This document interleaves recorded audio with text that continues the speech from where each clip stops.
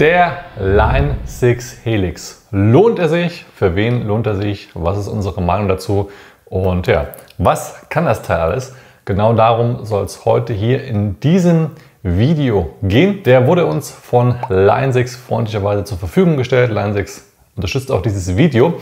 Und wenn ich sage, was er alles kann, ähm, darum soll es heute gehen. Da, das ist nur so die hm, ja, 10% vielleicht der Wahrheit. Denn das, was er alles kann, werden wir garantiert nicht alles in diesem Video hier abdecken können. Denn das Gerät kann extremst viel. Worum es hier gehen soll, ist in diesem Video erstmal eine kleine Einführung zu bekommen in das Gerät und zwar auch Einführung aus Sicht eines Gitarristen. Denn man kann hier auch vom Sänger bis Bass, Keyboarder alles Mögliche einspeisen. Ich glaube, es gibt so sieben verschiedene Kanäle, glaube ich so, äh, die man hier entsprechend parallel fahren kann. Also das Teil kann noch definitiv mehr, aber da wir uns ja an Gitarristen richten ähm, und wir dich auch nicht mit Informationen hier zuballern wollen, äh, soll es erstmal um die Einführung gehen, damit du einfach mal siehst, hey, wie bedienst du so ein Teil? Und ähm, äh, was kann es für dich als Gitarristen im Endeffekt tun und äh, lohnt es sich überhaupt auch für dich und was sind die Vor- und Nachteile, auch was den Sound angeht. Wir starten auch direkt mal mit der Bedienung, denn das war so der Punkt für mich, wo ich ähm, mich etwas davor gesträubt habe, überhaupt den Line 6 Helix mal in die Hände zu nehmen. Denn für mich war es immer so, ich habe den äh, schon mal vor Jahren auf ein paar Messen gesehen und hier und da ein bisschen herum ähm, geguckt und mich auch etwas belesen. Es ist schon relativ, ähm, ich sag mal, kompliziert, beziehungsweise man hatte den kleinen Monitor und man hat dann hier diesen Joystick, mit dem man hier verschiedene Dinge auswählen kann. Aber das ist erstmal nur die Bedienung physisch am Gerät. Es gibt dafür nämlich auch noch eine digitale Bedienung, Bedienung und die gucken wir uns auch gleich an. Und dadurch ähm, entsteht eine ganz andere Lion 6 Helix Welt, auch für mich wo das Teil dann auch wesentlich brauchbarer geworden ist, beziehungsweise ich habe mich dann einfach herangetraut und so geht das Ganze auch wesentlich einfacher zu bedienen. Hier auf der physischen Seite hast du eigentlich im Endeffekt einmal die einzelnen Treter, die du dir hier zusammenbauen kannst. Ähm, das heißt, natürlich kannst du hier entsprechend eben draufdrücken, hast die einzelnen Soundbänke, die du hier ja, auswählen kannst. Du hast einmal den Tuner, wenn du hier unten hältst, dann kannst du deine Gitarre hier oben stimmen. Ja. Du hast einen Looper, den kannst du hier physisch bedienen und im Endeffekt ähm, ja, noch das Volume oder Barbital. Die anderen Dinge, was die Soundgestaltung angeht, auch die Belegung der Bänke, kannst du alles digital machen und das geht wirklich sehr einfach und sehr schnell und unter anderem dadurch, muss ich auch sagen, finde ich das Gerät sehr, sehr geil.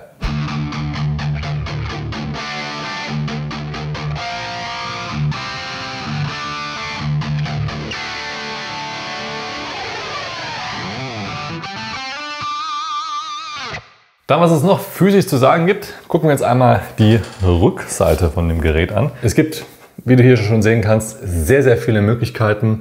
Ähm, du hast hier einmal das Guitar In, das heißt, da steckst du deine Gitarre rein. Ähm, Aux in, du hast Mikrofon in, du hast Send Return, ähm, äh, XL-Ausgänge, du kannst ähm, das Ganze mit MIDI entsprechend versehen und ähm, ganz wichtig auch noch für uns Gitarristen, natürlich hast du auch hier einen USB-Anschluss. Mit dem USB-Anschluss kannst du das ganze Gerät ganz einfach mit deinem Computer verbinden und kannst es dann zum Beispiel auch zum Aufnehmen verwenden, beziehungsweise eben dann in HX-Edit, so nennt sich die Software, die Oberfläche, die du hier physisch hast, einmal digital auf deinem Computer abbilden und die Sounds sehr, sehr einfach generieren, beziehungsweise eben erstellen. Genau das gucken wir uns im nächsten Schritt an. Das ist mal so rein zur physischen Seite, wie gesagt, ich will jetzt nicht zu sehr darauf eingehen, für was diese ganzen Stecker sind. Ähm, da können wir noch bis übermorgen sprechen. Ähm, gehen wir jetzt mal über, ich zeige dir auf meinem Bildschirm, wie das Ganze dann aussieht und was du alles mit dem Helix so als Gitarrist tun kannst.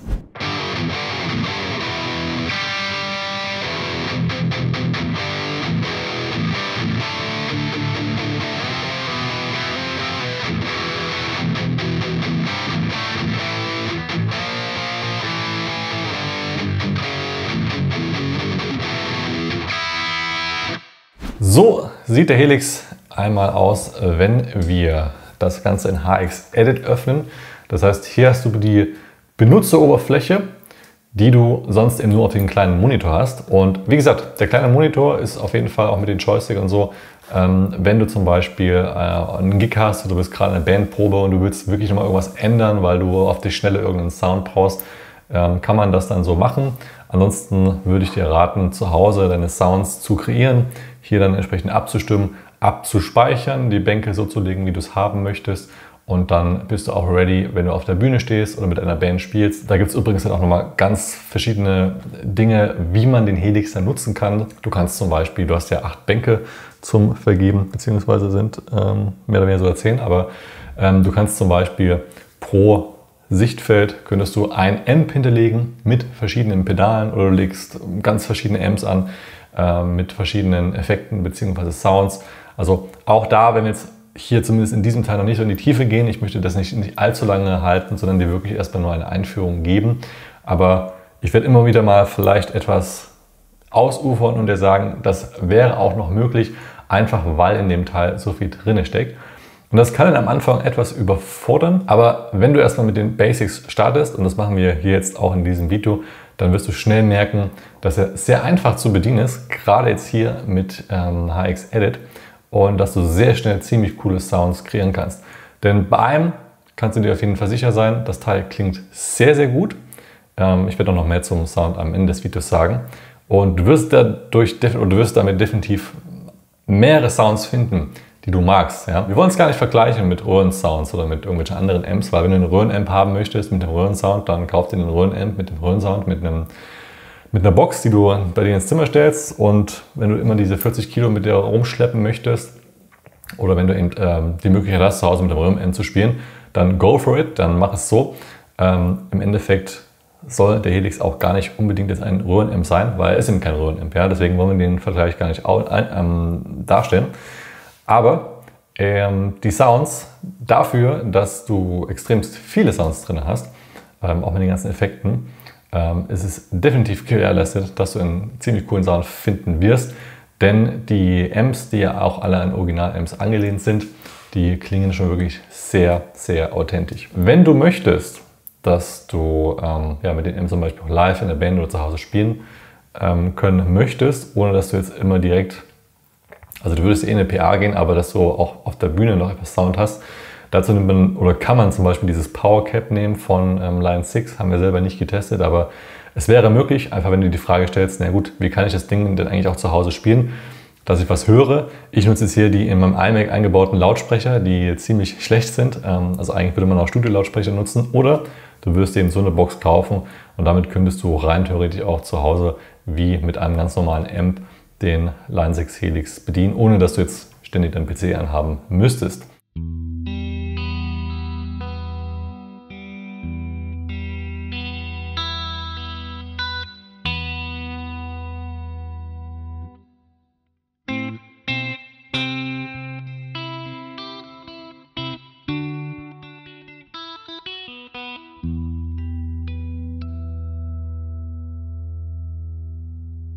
Kommen wir mal zu HX Edit. Ähm, auf dem Helix selber sind zwei Factory ähm, Ordner bzw. Bänke mit ganz, ganz vielen verschiedenen Sounds hinterlegt. Du siehst, hier gibt es zum Beispiel auch verschiedene Bass-Sounds und du hörst einige von denen, oder was ist einige, also einige wenige von denen auch während den einzelnen ähm, Clips hier.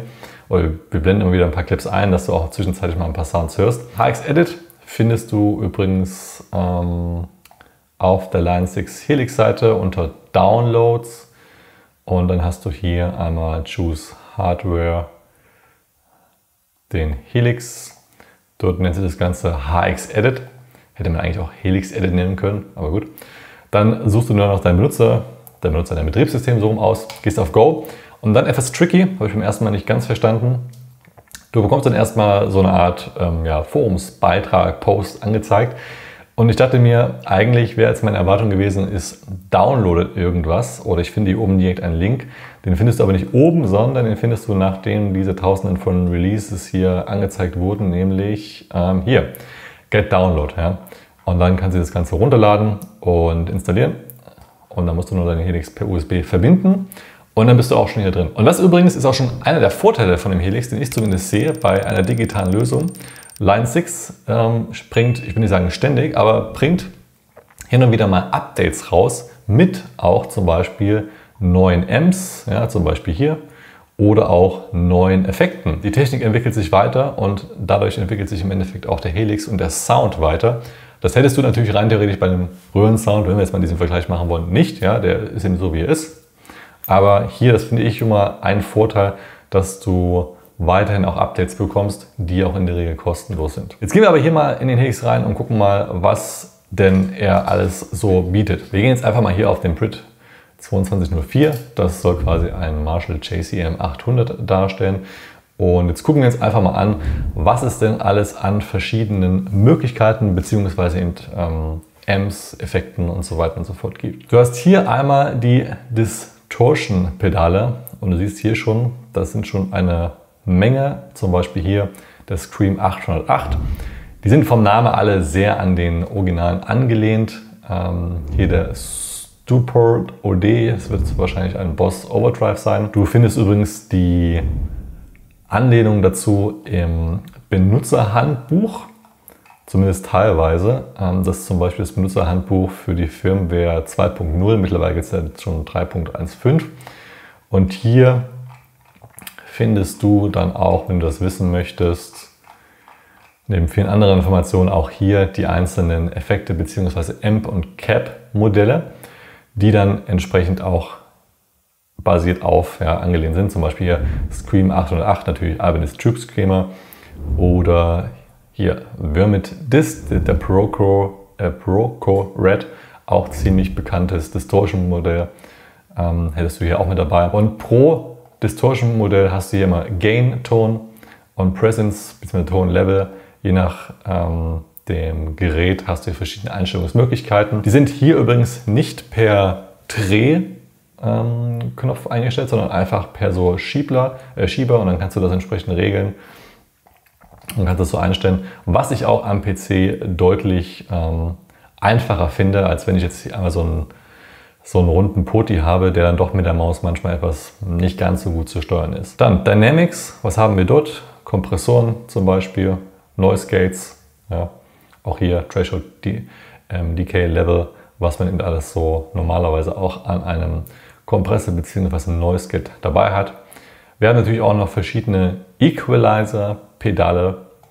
Also du siehst schon, ja, die Bandbreite an verschiedenen ähm, Effekten und Soundmöglichkeiten, die ist schon allein aufgrund dieser ganzen Distortion-Pedale, wo ja nicht nur Distortion-Pedale sind, sondern auch Overdrive und natürlich auch Fuzz-Pedale, ja, äh, ist deswegen schon wirklich sehr groß. Dann Modulations, darunter fallen quasi Chorus, Flanger oder ähm, Phaser, glaube ich zumindest, genau, Phaser, äh, Tremolos natürlich auch, ähm, hier Chorus-Pedale, ja, auch hier mit den normalen Potis bzw. Soundoptionen, die man so normalerweise hat.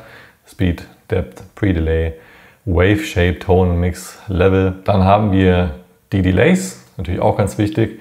Ja, allein hier, das sind wahrscheinlich um die 15 oder 17 Delays, die man hier mit dabei hat. Vom ganz normalen klassischen Delay über Swept Echo, Reverse Delay, Vintage, Digital Pitch Echo und so weiter und so fort. Also hier kann man wirklich sehr gut herumexperimentieren und ähm, sich diverse Sounds erstellen. Reverb, Hall, ja, auch ganz wichtig, auch ganz verschiedene Hallgeräte mit dabei. Dann Pitch bzw. Synth, ja, ist auch ganz ähm, interessant. Das zum Beispiel ist so ein Effektpedal, was, was ich mir so privat wahrscheinlich nie unbedingt kaufen würde, aber hier bekommt man es einfach dabei und dann kann man auch ein bisschen herum experimentieren und weil man die Möglichkeit hat und man es eh dabei hat, dann äh, kommt man vielleicht auch auf den Geschmack, sowas mal öfters zu nutzen. Zum Beispiel so ein Pitch-Van, was höchstwahrscheinlich angelehnt ist an das Digitech Remy. Genau, ich kam gar nicht auf den Namen. Sieht zumindest vom Bild hier auch so aus. Auch das hat man mit dabei. Dann Filter. Wüsste jetzt gar nicht genau, was man hier jetzt mitmacht. Habe ich selber noch nicht genutzt. Dann war, ja, auch hier schon mal allein knapp um die 10 War-Pedale. UK war ist bestimmt das Bekannte Crybaby, könnte ich mir vorstellen. Guck mal nach. Ah ne, das ist Vox. Hier, ach hier, Teardrop und Fessel. Das ist Dunlop Crybaby. Ah, okay.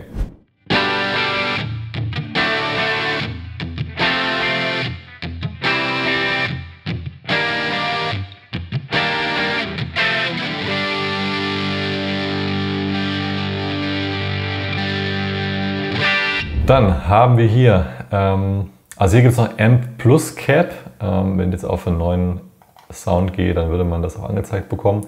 Ich gehe davon aus, das hatte man jetzt hier wahrscheinlich nicht angezeigt bekommen, weil das hier in diesem ähm, Preset schon anders eingestellt ist. Also, dann haben wir hier verschiedene Amp-Modelle. Und bei den Amp-Modellen haben wir wirklich von Vintage Clean Sounds über Vintage Modern Crunch Sound, über High-End Sound, über Marshall Sounds zu Rectifier Sound, also äh, Mesa Boogie. Wir haben ein Engel mit dabei. Ich kann dir hier nochmal die Liste zeigen, die allerdings etwas veraltet ist. Da gibt es mittlerweile schon wesentlich mehr. Ja, sie den Hiwat, ähm, Fender-Modelle, Mesa Boogie, Engel, Soldano-Modelle, den Peavey, ja, auch ziemlich geil.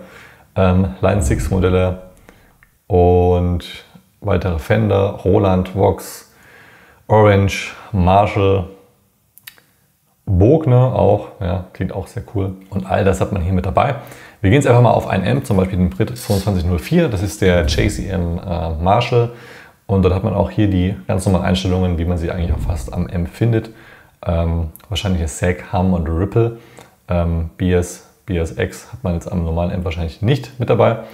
Aber du siehst auch hier, lässt sich alles sehr intuitiv einstellen. Man hat dann neben dem Amp natürlich noch die Möglichkeit, ein Cabinet, also ein, ähm, eine Box zu wählen. Auch hier gibt es die üblichen Verdächtigen, als auch so ein paar, ähm, die man vielleicht so noch nicht gesehen, gehört hat. Gehen wir hier mal auf die Caps. Also, wir haben hier die, ja, was sind so bekannte, die man wahrscheinlich kennt, das sind hier diese Marshall-Boxen, ja, Bogner Engel, Mesa Boogie Box, Roland, Vox, auch hier Fender Hebert. Also man kann sich hier grundsätzlich auch wirklich den Sound oder den, den Guitar-Rig von seinen Lieblingsgitarristen zusammenstellen und kann somit wirklich den Sound sehr, sehr nahe kommen, äh, wie sie eben auch die, die Großen haben. Was ich gerade hier bei den Lautsprechern sehr interessant finde oder als äußerst hilfreich betrachte, und das gibt einfach nochmal die Möglichkeiten wieder, die man mit dem Helix hat, sind die einzelnen verschiedenen Mikrofone, die man auswählen kann. Ja? Also allein damit, und pro Mikrofon hat man ja verschiedene Möglichkeiten nochmal zum Einstellen, allein damit hat man, wenn man so ein Soundfetischist ist, der wirklich jeden einzelnen Zentimeter, jedes einzelne Quäntchen an Sound rausholen möchte, hat man verschiedene Möglichkeiten. Ich persönlich bin lieber einer, ich nutze ein Preset und höre mir erstmal so den Amp an und dann tweak ich hier noch ein bisschen, aber ich gehe jetzt nicht in alle möglichen Dinge rein und ähm, stelle das jetzt hier nochmal 2-3% höher, um jetzt einen besseren Sound herauszubekommen. Und genau das war eben auch mein Bedenken hierbei, dass es zu viele Dinge sind, die ich jetzt einstellen muss, wo ich nachjustieren muss, wo ich mich drum kümmern muss. Aber es ist ganz und gar nicht so. Weil schon allein die Factory Presets, und du hörst, während wir jetzt hier im Video sind, auch verschiedene Presets, die ich einfach hier von den Factory Presets genommen habe. Und die klingen schon so gut, dass du davon schon im Endeffekt weiterbauen kannst oder diese sogar eins zu eins verwenden kannst. Das Bedenken, dass du jetzt zu viele Dinge einstellen musst und dass zu viele Sounds sind, ähm, das ist auf jeden Fall damit genommen, denn ähm, die Presets sind schon richtig gut und selbst einen Sound zu kriegen, einen guten Sound, ist relativ einfach. Da kommen wir in dieser Session nicht mehr dazu, aber das können wir gerne in einem weiteren Video besprechen. Schreib uns da gerne mal deine Fragen unten in die Kommentare, welche Fragen du noch hast und auf die gehen wir dann in weiteren Teilen gerne ein.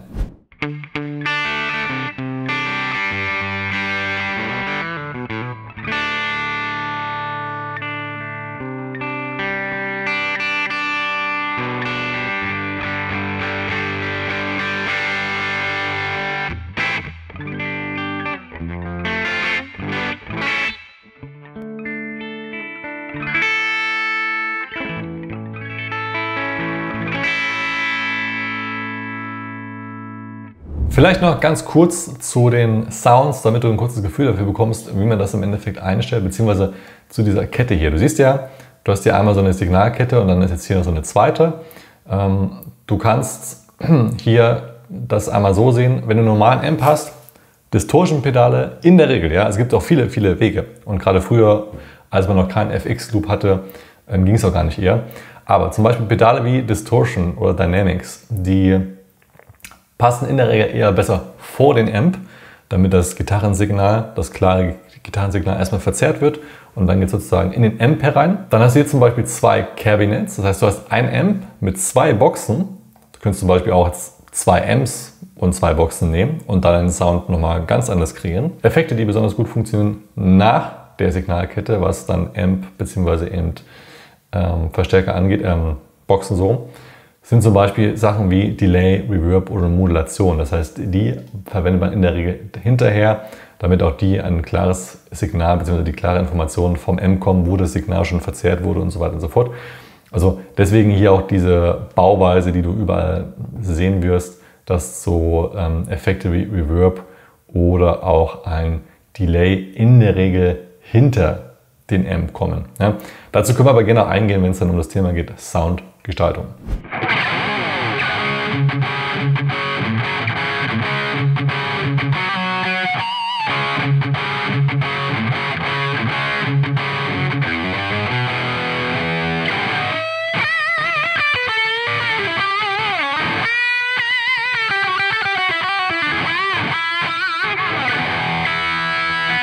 Ja, einen großen Vorteil, den ich vorhin schon angesprochen habe, ist, dass er digital ist. Das heißt, das Ganze wird hier ständig abgedatet. Es gibt eine ziemlich große Userschaft an Menschen, die den nutzen, die dann auch auf Line 6, und zwar wenn du unter Custom Tone gehst, auch entsprechende, und dann unter Helix, entsprechende Sounds hinterlegen. Das heißt, ähm, du kannst jetzt zum Beispiel von Usern kreierte Sounds downloaden, kannst sie wiederum in den Helix einfügen und kannst damit zum Beispiel auch Töne, die vielleicht erstellt wurden von deinem Lieblingsgitarristen, direkt nutzen. Das finde ich ist ein weiterer Riesenvorteil von dem Helix, dass du eben dadurch einfach noch viel mehr Sounds dir herunterladen kannst, so mehr oder weniger wie so eine Blaupause und die jetzt selber nutzen kannst, ohne dir da jetzt irgendwas an Gedanken zu machen, wie du diese Sounds einstellst.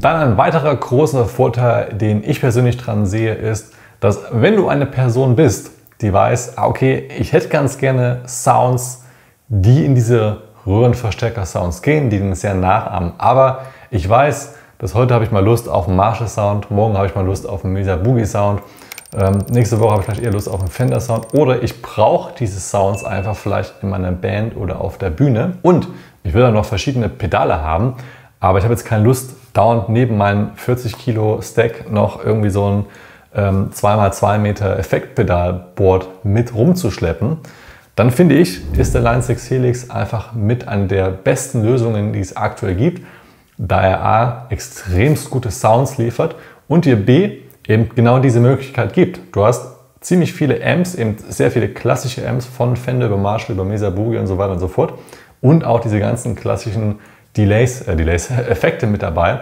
wo du dir Traumsounds noch und nöcher bauen kannst. Und weiterer Vorteil ist der, dass du per USB-Ausgang direkt an deinen PC gehen kannst und du kannst zum Beispiel damit recorden. Ich meine, das würde ich mir von so einer Lösung jetzt auch in dem Preisbereich definitiv auch erwarten, aber ja, so als kleiner ähm, Nebeneffekt, dass du natürlich damit auch direkt recorden kannst.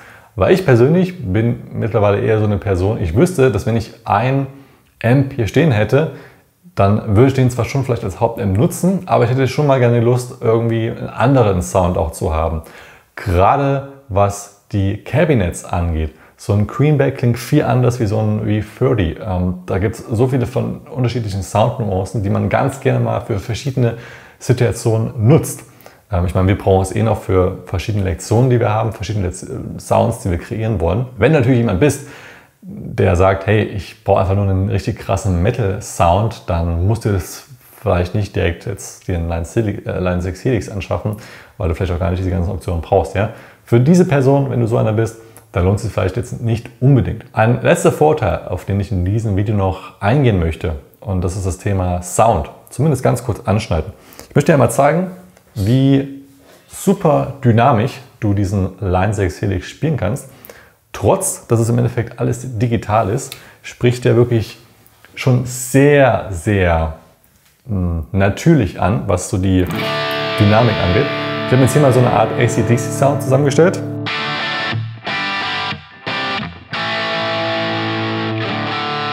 Und spiele jetzt mal hart, mal nicht so hart, ein bisschen dynamisch und du kannst fast clean spielen.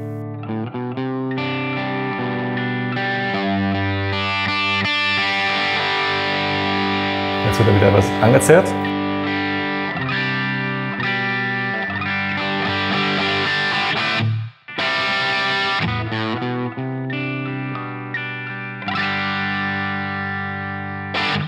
Und das, muss ich sagen, habe ich so bisher in einer digitalen Lösung noch nicht erlebt, dass er wirklich richtig schön dynamisch anspricht und nicht nur bei Clean Sounds, ja, sondern auch bei Crunch oder auch selbst bei Metal Sounds, äh, wo man auch da wirklich mit dem dynamischen Spielen, was ja auch so ein Amp ausmacht oder was auch den persönlichen Sound ausmacht, wo man hier wirklich sehr, sehr viel herumspielen kann und man auch eben ja, einfach dynamischere Sounds hinbekommt.